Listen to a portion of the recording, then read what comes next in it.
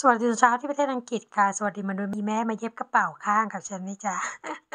อันนี้คือเป็นเทคนิคใหม่นะจ๊ะอีแม่ แบบที่ว่าฉันเคยเพิ่งทำเป็นครั้งแรกอุ๊ยแต่ออกมาดูดีเวอร์นะ อือฮึ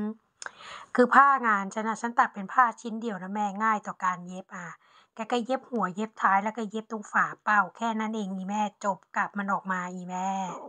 กลับเสร็จแกไปรีดนิดหนึ่งไม่รีดไม่ได้เดี๋ยวเย็บลำบากนะแม่นะพ อแกรีดมาเสร็จแกมาวางทับบนกางเกงตัวนี้เลย แล้วแกมาเช็คอีกฝั่งหนึ่งไว้ก่อน ว่าฝั่งนี้มันกี่เซนเราก็เอาให้เท่ากันซ้ายกับขวานะแม่นะ มันจะได้ง่ายต่อการทำเนาะเออ ใช้เวลานิดนึงแต่ไม่เป็นไรแม่ เราชอบทางนี้เราก็ต้องอดทนนะ ฉันรู้แล้วมนุษย์แม่มีความอดทนสูงโอเค หลังจากที่แกได้ขนาดเท่ากันกับอีฝั่งนู้นแล้วแกก็เข็มหมุดล็อกไว้ เออ พอล็อกเสร็จทีนี้แกมาเย็บนะแม่นะอะเย็บตรงหัวมันก่อน ตรงหัวฉันจะเย็บแบบเป็นเส้นเล็ก ๆ นะแม่นะฉันไม่เย็บเส้นใหญ่นะฉันจะบอกไว้ก่อน อืม